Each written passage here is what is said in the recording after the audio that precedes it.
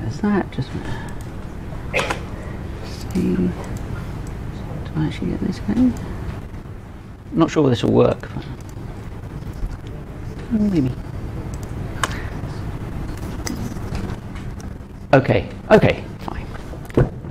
So I, am going to talk, I loosely said I'm going to, a whole spectrum of TensorFlow. Um, and so hopefully we'll cover both the, the, the kind of deep tech piece, which will really be an advert for the TensorFlow meetup group, and all the way to AutoML. So um, thank you for the introduction. Um, I'm, I'm, Martin Andrews. Um, I've got a kind of background in machine learning, startups, finance. I moved from New York to Singapore in 2013. 2014, I kind of lived in Singapore under the radar, um, doing machine learning, deep learning, NLP for fun, um, and robots and drones. And basically, I essentially converted myself like a, a, good kind of WSG kind of thing. I converted myself from a finance guy to AI guy. Um, and kind of proved that in 2015 when we got, I got Cirrus working for a local company in Singapore, and we've been doing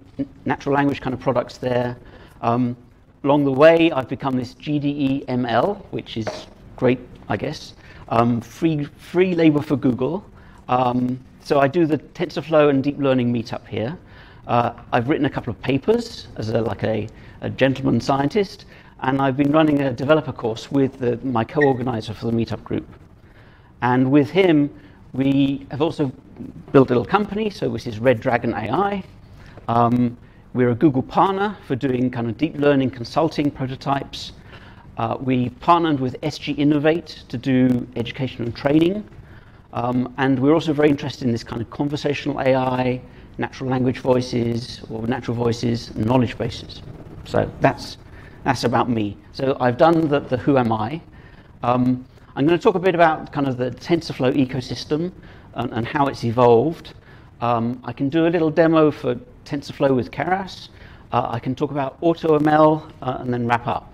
But just so I know who, who you are now, so I've done the who am I, um, how many people are kind of have done machine learning, anything before?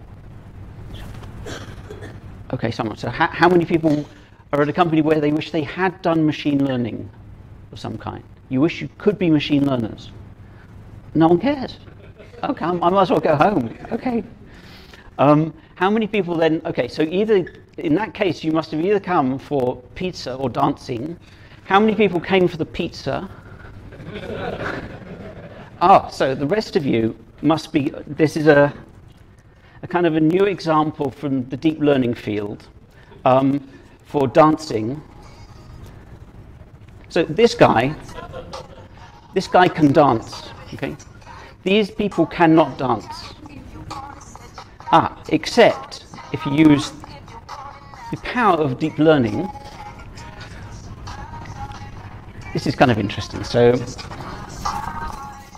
so whereas the, the task for machine learning is to say, good dancer, originally bad dancers, um, this is where you, kind of things that people are now beginning to be able to do with deep learning techniques. Come on, they're going to do ballet soon.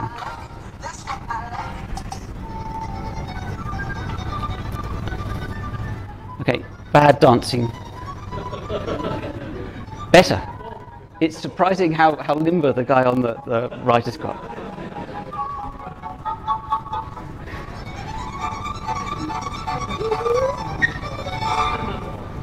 There we go. Okay. So let me let me go on with with the TensorFlow stuff now. So, um, how many people have seen this picture before? This is from last year.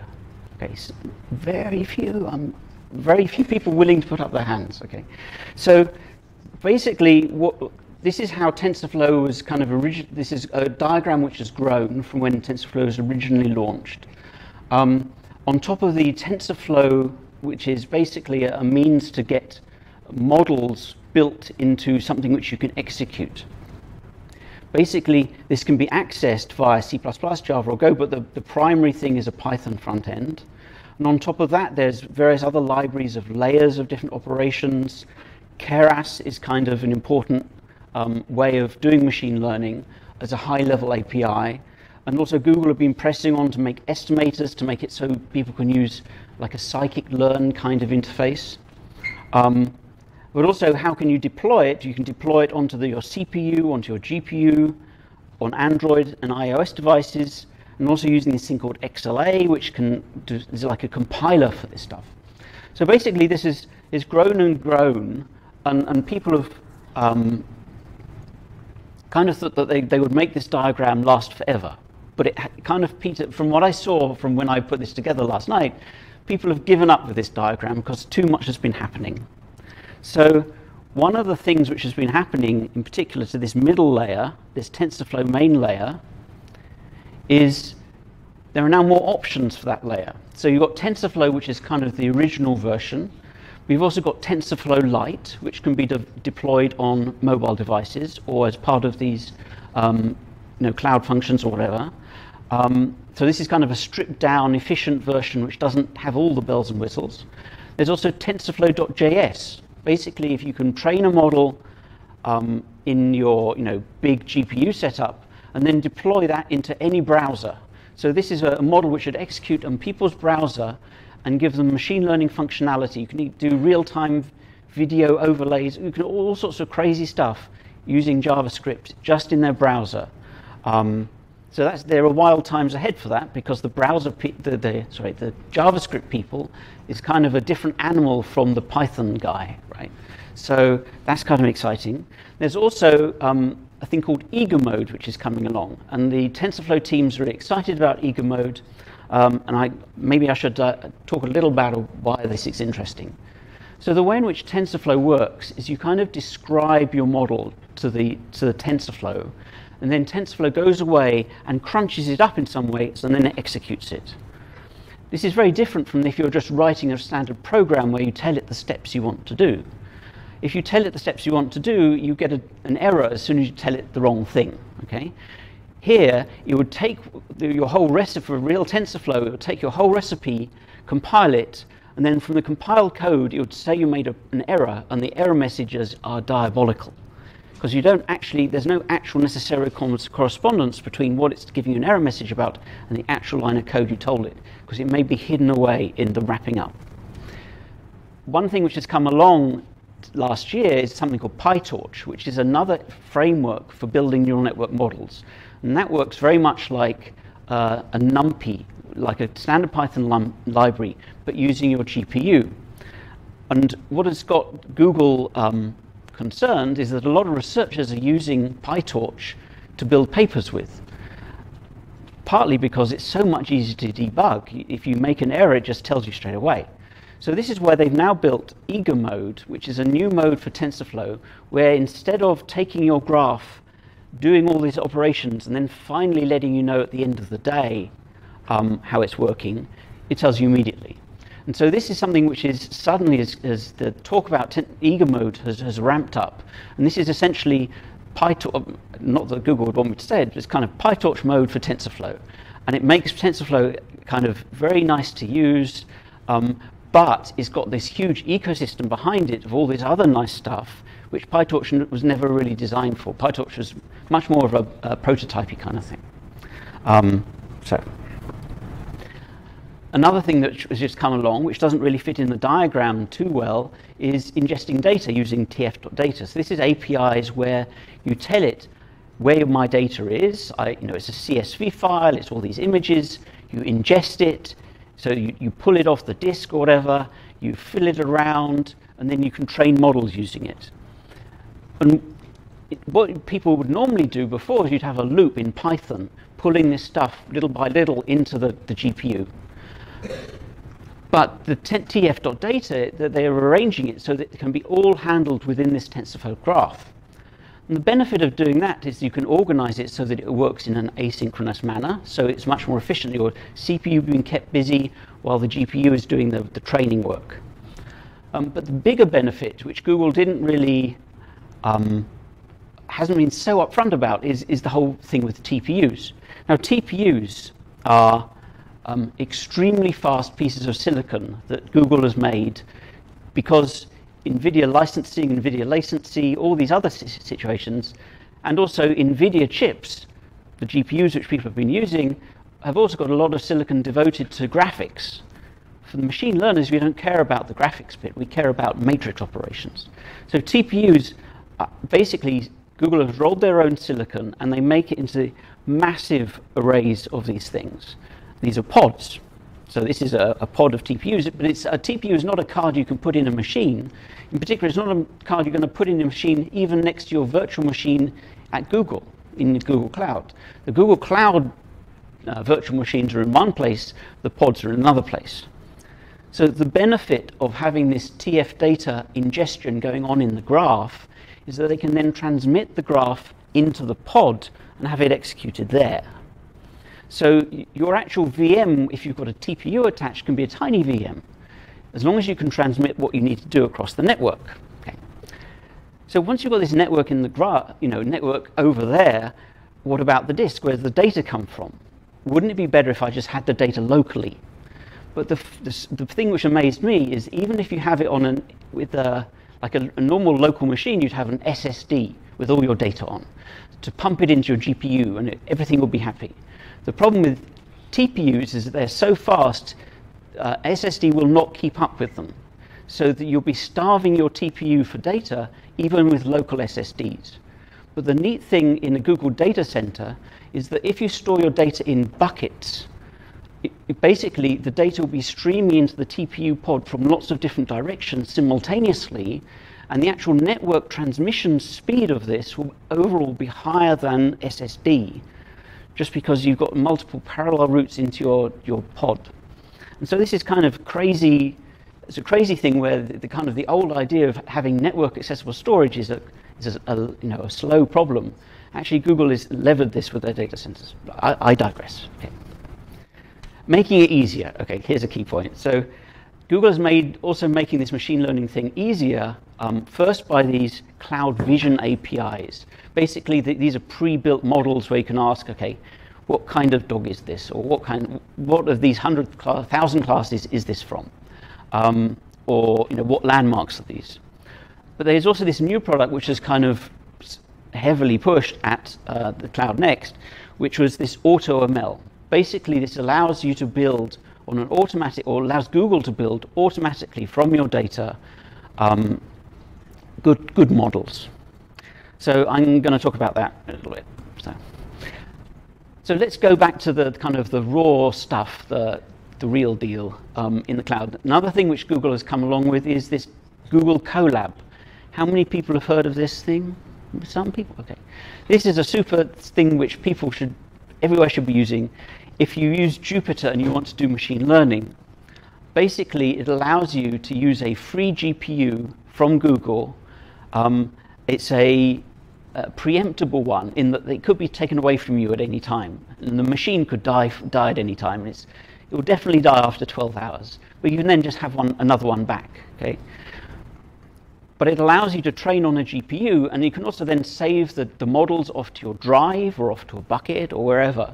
So it is basically at work, we've been keeping these going continuously for several months, right? Um, just as, you know, you, you leave a job running overnight, um, come back the next day, it's all on your drive, the machine died, but it doesn't really matter, you can then re revive it, continue training. So you get a free, a free K80 um, from Google, very nice of them. Um, but the, the, reason they've got all these, these K80s lying about is because the TPUs have taken over all the workload that these old GPUs did. So now they've got these for free. They also built some kind, this is for dollars now. So Google's built deep learning VM images. So these are all pre-installed with the latest NVIDIA drivers, TensorFlows compiled to use this even better than normal. Um, they also have the same thing for PyTorch, which is a very interesting move. So um, hats off to them. Okay, so now I will do a quick demo of TensorFlow and Keras, but since no one here cares about machine learning, I, am not sure why I'm going to do that. But um, one thing, so that this is part of a repo which I have. So I've been running this kind of deep learning workshops for quite a while. We've been running these, um, I have a repo with tons of examples in, um, but also now we're just converting over to running these things in Colab. Essentially, last year we ran a, deep, a developer course where half the class had a GPU and half the class had a really tough time. Okay. Now everyone can have a GPU. It may not be a great GPU, um, but just running this directly on Colab from GitHub um, makes for a great experience. So, so, this is this is my Jupyter. This is a Jupyter network running directly on here, because Colab is not trustable in front of 200 people. So. Okay, so what I, what I want, the, the, the kind of the use case here, and this is kind of a common use case that people will have, is they've got a bunch of images that they want to classify. And so this is a classification problem. I would love to be able to show you the everyone can dance, but this is not, that's not for today. So, um, and the way in which people do this typically is instead of building a network from scratch and training it on just your images, they will take a pre-built network and then kind of switch out what it's looking for.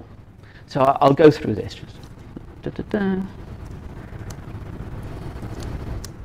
So, so within a thing called Keras, which is a, a, a higher level API on top of TensorFlow, there is a model zoo.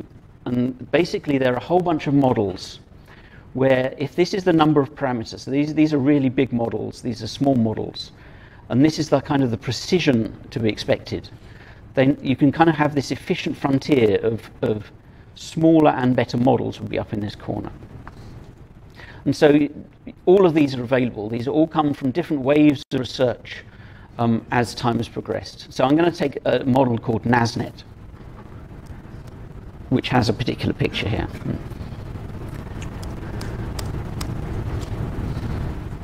So hopefully it's just going to load the model. Load the model.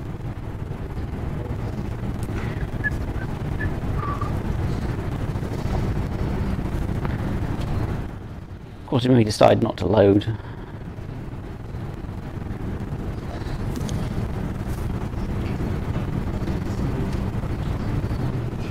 Come on, come on.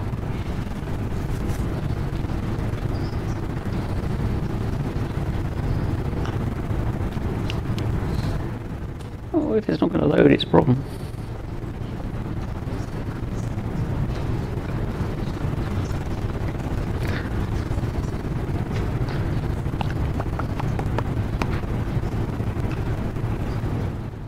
the issue with, an external model zoo is I have to call the model zoo. Come on.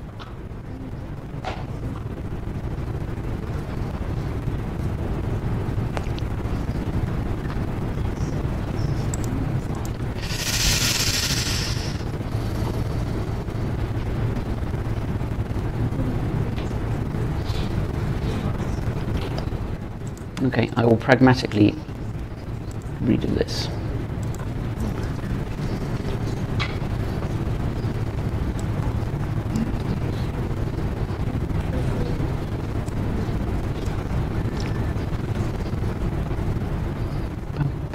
bum, bum.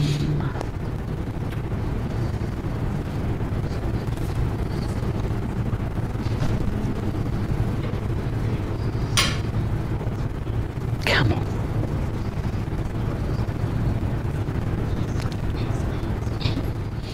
Okay, I'm not, sure I can trust this to work at all.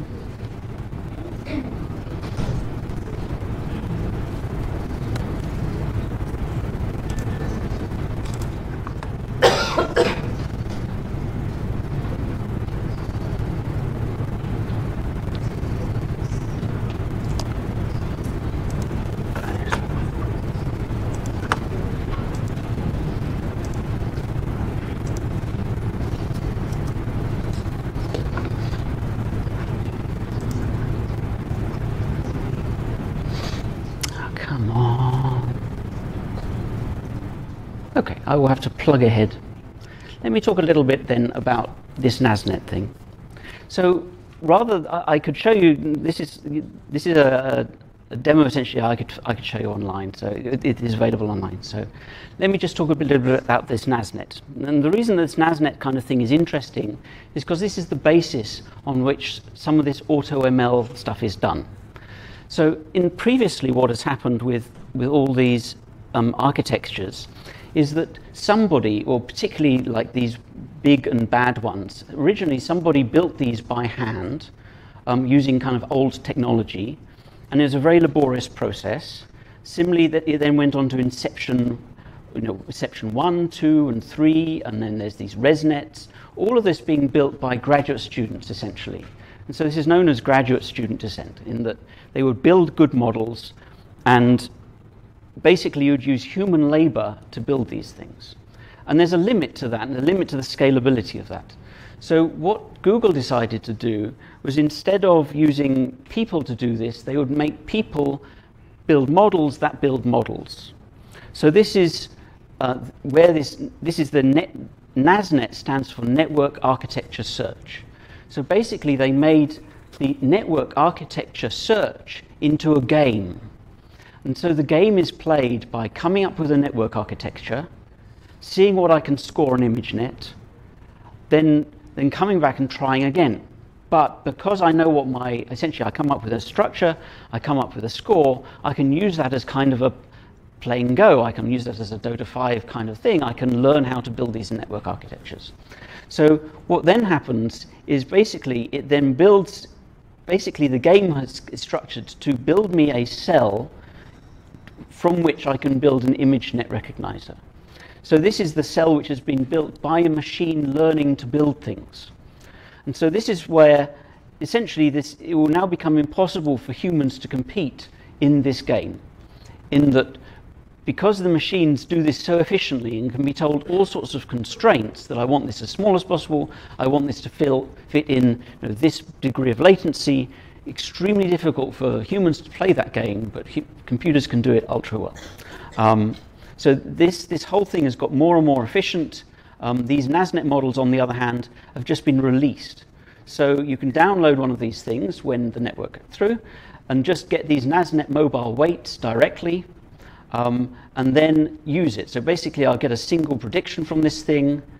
I, here's an image, I read the image, I show it, bah, bah, and then I get a single prediction from this NASNet model. And so here is a, this is an ImageNet prediction demo, it's just worked. So.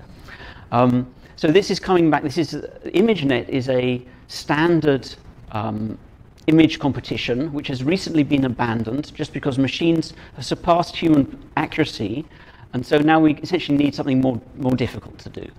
Um, so this is it is basically a thousand categories of things, including clearly tabby, tiger cat, Egyptian cat, Persian cat, and lynx. Okay, and this is picture of tabby cat. Is fairly certain, or fairly sure of that. And basically, I've got a, a, a directory full of images here, and so here's another one. Um, it thinks this one is Siamese cat, not a bad idea. This one, I'm not, a, I'm not sure what a is. Anyway, standard poodle, maybe. It, ImageNet, the thousand classes don't cover um, like snowy white owl, okay? So it has no idea what this is. So, I mean, sometimes it would say like golf ball, or anyway, that it just does not know, right? So it's, but it will be relatively, reasonably certain about the wrong answer, okay? And then there's this one, dingo, could be, um, or may, that may be Shiba Inu, anyway. So ImageNet also has a very large number of dogs, that large number of dog breeds in there for, for no apparent reason. Um, but these are also very difficult to, for humans to tell apart. So part of the way in which ImageNet beats humans is by being good at dogs, which is not anyway. It's not, it's, but it's, it may make horrible errors because it has the ImageNet has very few humans in there. ImageNet is not not good at human distinctions at all. It may have person as being a class, right? Um, but it doesn't have it also has gorilla as a class, and that's been a problem for Google. So, um, so there's a, a, question of data and uh, dignity as well. Okay. So basically, here, here, here, here is the model which is loaded. Um, this is a neural network with many, many layers of these things. So this is a, a very, very lo long network, basically designed by computer rather than human. So what I'm going to do now is I'm, I'm going to take this model and do a trick. So this is the, the if I can have you the, get rid of the header, little one, okay. So basically what I'm going to do is I'm going to take, this is the ImageNet network, and I can take, and this is my input image, and then I do some kind of black box mystery work with this NASNet, and at the end, I'll get back like probabilities for each of the thousand classes, or not even probabilities, something before probabilities. Okay, Now, I there would then do an operation called a softmax, which would then uh, give me kind of probabilities, and the biggest one is my choice. Okay, so the biggest output in this layer is no tabbycat or, or whatever it is, but it will kind of have like answers for all of the other classes. They'd just be very small answers, hopefully. What I want to do with this, this repurpose network, though, is I'm going to strip off this last answer because I want to use it on my own classes. I don't want to use the ImageNet classes. It may be that I want to classify, for instance, cars. Okay. So what I'm going to do is take off this last piece and instead use these kind of pre-outputs. Essentially, basically, this is a bunch of, apart from this one, all of the rest of it is kind of degrees of mistake. So I'm basically I'm taking the, the way in which it's made mistakes and trying to use that to classify cars or, or whatever, to, to my, my own thing. I'm going to use a model called an SVM. It's very standard kind of your boss would understand this model thing. Okay, so the, one of the nice reasons for wanting to do this um, transfer learning, this is what this is called, like this, is that you can say, well, this dense black box complex CNN, I didn't train it myself. Google trained it using all of their resources. This is a Google standard model, okay? And SVM, brackets boss, you've seen this before. You understand SVM just fine, right? So in combination of these two, it's got like industry tested, this, this, this. Um, here's a model which works.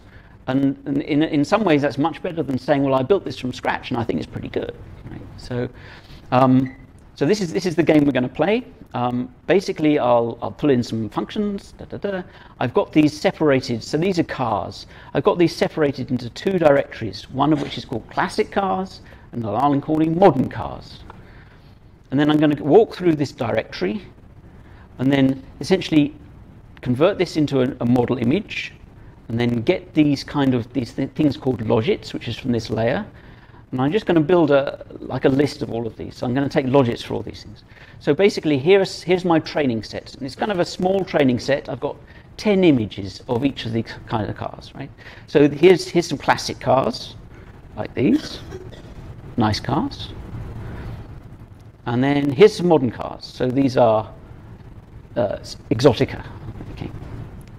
And so that is my training set. Now, normally, uh, one of these classifiers would require hundreds of thousands of images, right? If you're going to build this um, using from the ground up. But because I've Google has already built the ImageNet thing using hundreds of millions of images, it's pretty good at images. Now all I need to do is figure out the difference between modern and classic cars.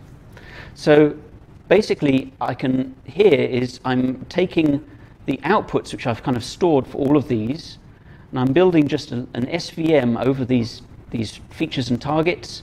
So this builds in, this is a half second at most, right? So um, I can then go through this and, and actually then find out the logit layer for new images, which is never seen before, and then use the SVM to classify those. So here it, here it say, well, this is a modern one. This one is not a modern car. This is a classic car. Mm-hmm.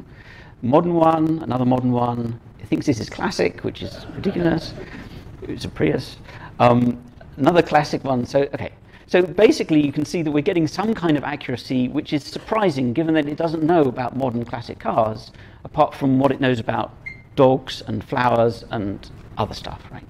And so one of the things here is that it's probably not doing what you think it's doing. In as much as if I'm looking at, if I'm looking at the difference between, this is a kind of a caveat for machine learning in general. Um, if I'm looking at these cars and this, you know, kind of sleek lines and modern cuts and all this kind of thing, whereas this has got kind of bulbous. I, I don't. know. there are different things which I would associate with classic cars versus modern cars, but it may well be that the what it's interested in is the shape of the wheels, because the classic cars have ones which are much more like plates, um, which it knows about. And it knows about plates of food, right? And the modern ones are much more like lotus flowers right? So the actual lotus seed pods, okay? So the actual things which it's looking out for in these images may have nothing to do with cars at all. Or it may be that the modern cars are always parked on a certain kind of parking lot, whereas the classic cars are in, always in a different kind of context. So you've got to be very careful about what it's looking for when you train these models. expert ideogress. So, so this is basically, so this is just 10, 10, 10 copies of each image, um, produces a model which kind of works, but you have to kind of also know what you're doing. I mean, you, hopefully you can find a blog post which does this, repurpose it, jazz it up for your own good.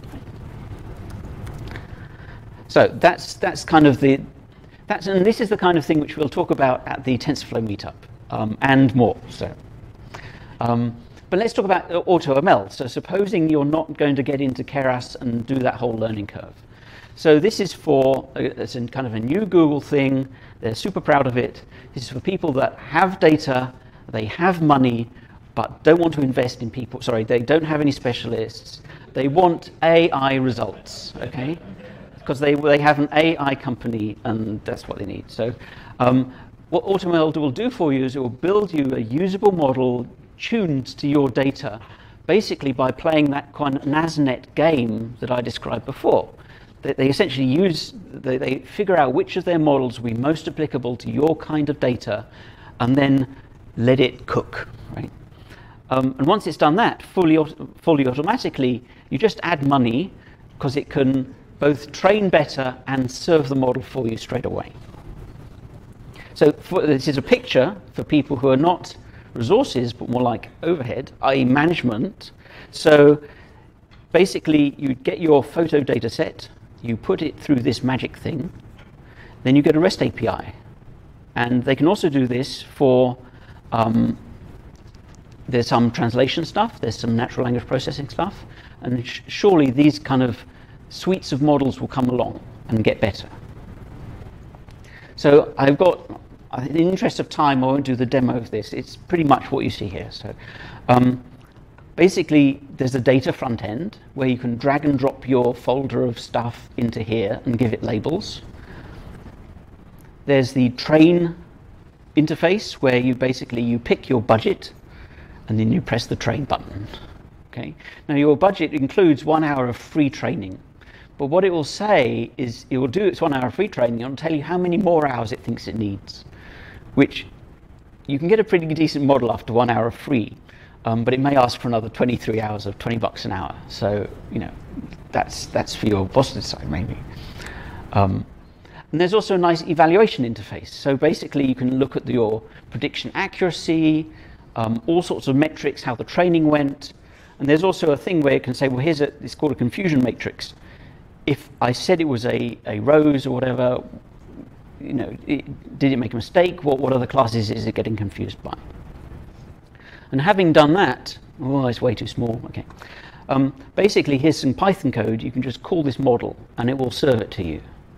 And, and not just serve it to you, it will give you back the answers. Same with, um, you can, you know, you can do this, you can call it via any REST API. And so it, my guess is this, this is well, it's definitely easy to interface, and because it's Google, it will probably scale. So this model will be usable repeatedly from any device, um, and it was built fairly painlessly. So if there's time, I'm not sure there's time. I don't want to. I don't want to crush other speakers. So. Um, but this is basically I, all I would be showing you is I have another image, and I can just show you that this model really works. We Sam trained one in New York. We can share the model. I can put an image in. It just works. Um, but there's no time to, to give you show you the hour training process because that's ultimately really boring because all it is is Google doing something in the data center. So the advantages for this is it's kind of easy to use in theory. Um, it, it, may not be quite so easy to do the data ingestion because it's really kind of finicky about how it wants it how it wants you to upload these things. You don't need to know anything, you, don't, you hardly need to know anything about machine learning. You need to know about training and test sets and, and what accuracy might mean and all this kind of thing, and whether the model is any good. Um, but basically, everything's done for you. They training, valuation metrics, and you get an API immediately. Um, disadvantages, it's not, it only does classification at the moment, um, so it will not be able to make you dance, right? So this is this is the advantage of using Red Dragon AI is that we can make you dance, whereas this will only make classified, not good dancer. Okay. We also get no, no control over what's happening. Um, you can't choose various splits. You can't do the kind of things where um, you might want to have control over this. And the results, if, if you've had no control, you may also not understand what's happened. Um, and you can't really poke around because it's kind of, it presents you a finished product. And it's $20 an hour in beta at the moment, not sure how, whether that goes up or down. Um, clearly they want people to experiment with this. Um, so conclusions, I guess. So if you need a model but you don't know TensorFlow, this is a fantastic product. And I think what Google has done is they've looked at the number of people on Earth or the number of businesses on Earth and the realistic number of people they can educate and seen that this is a massive gap. So better to get this in the hands of people. Just the, the way to democratize it isn't to make it so that everyone can use it, it's to make, make everyone understand it, but at least they could use it. Um, even if you do know TensorFlow, on the other hand, this is good for a baseline. Um, it, you know, you can put in your data set to this, it will come back with something. It might be, it might be really good. On the other hand, it might be a great baseline to show that you can beat Google. So, not nice, isn't it? Um, but it probably wouldn't win a Kaggle competition. Okay, if you've got experts building these things, you'll probably be able to build it, beat it, just because the variety of models it will test will not be, and the features it will understand will not be as good as um, in, like specialists who really understand your business. Um, and if you start retraining this just because it's a habit, it might get expensive. So as a wrap up, okay. So the TensorFlow ecosystem is exploding. It's gone kind of way beyond its early stages, and now we're kind of, it's probably too much is the problem. So, so there's a, a, an embarrassment of choice right now. Um, on the other hand, where they said, where they started out saying we would get to all these compiled models and all this good stuff, it actually works now. It will actually go onto your, your phone, it's available in the cloud, it will scale, it will do all of these things. Um, and this AutoML is a, allows for a much broader adoption of AI. Um, but really, it's just machine learning. Um, the AI thing, that's way down the road right now. Um, so the stuff I have, the, the thing which took a while to load, is all in repo on GitHub. If you like it, please add a star. That's my kind of KPI for this. Um, and I'll do a few, a few little ads in the two minutes I'm remaining. So we have this TensorFlow and Deep Learning Singapore meetup. Um, the next one's on the 4th of September. We'll be talking about explainability, where if you've got a, a model, is it doing what you think it's doing? Um, there are a whole variety of techniques, but people are kind of worried that this is, um, that's one of the issues with these black box methods, right? Um, all these slides, are, I'm not sure whether there's a, um, all these slides will be available somehow, I guess. Um, what we try and do is we try and have a talk for people starting out, talk from the bleeding edge, like papers, and some lightning talks if we can, just anyone who's enthusiastic about what they're doing. Um, I said this before, we've run these deep learning developer courses, of which a thing called we're calling Jumpstart is module number one. Um, we ran this last year. Um, it was grueling, I think, for the participants, but they got, got a lot out of it, including good jobs, I believe. So, um, in each module, we have kind of instruction, and people have to do projects for themselves. There's SG, Singapore government funding for those people who qualify, which is be uh, citizens and PRs. Um, and we really want that to happen because otherwise we'd be teaching a room full of foreigners. Um, so want that to, that's been actually one of the slow pieces in getting this rolling, just to get all of these approvals through. Um, we're using SG Innovate to help us do that now because they're plugged in far better than someone who looks like me will be. So that's good. Um, in terms of the Jumpstart thing, this is a two, two-day course. Um, the next one is on the 12th, 13th of September. Um, there, if you go in through SG Innovate down here, for some reason it's under the talent talent developer talent development link. Um, this is 600 Sing. Um, but there's also, if you can understand it, there's also discounts for, for Singaporeans. So, um, but this is another two-day thing. You get to play with real models from the very beginning. Um, then there's one last thing, is the, the Red Dragon AI, intern hunt. So if you want the, if you're in a position where it might be interesting to you and you want to do deep learning all day, um, we're very interested in people who have an intern period to, to, to cope with. And I, I know because I've done this with uh, several people over the summer. It's worked out super well. They've come out with cool projects, cool resume things, and we get kind of people to plug away at these models, which is kind of still necessary. So um, there we go.